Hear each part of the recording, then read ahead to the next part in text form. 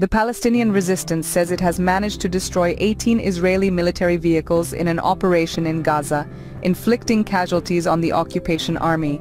A video published by the Al-Qassam brigades on Tuesday, the military wing of Hamas, showed its forces targeting Israeli soldiers and vehicles east of Jabalia camp in northern Gaza.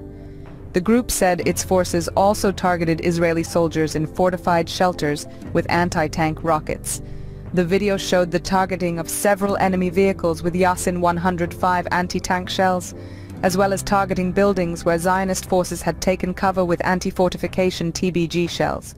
The scenes also showed the targeting of a Zionist sniper who was barricaded in one of the houses with an anti-fortification shell, followed by armed clashes between our fighters and the Zionist forces fortified inside the house. The Palestinian resistance also captured an Israeli army drone that was engaged in espionage operations.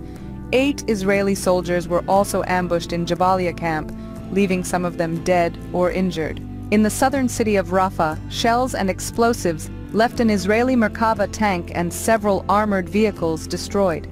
Israel launched brutalities in Gaza on October 7th after the Palestinian resistance movement. Hamas carried out a historic operation against the usurping entity in retaliation for its intensified atrocities against the Palestinian people.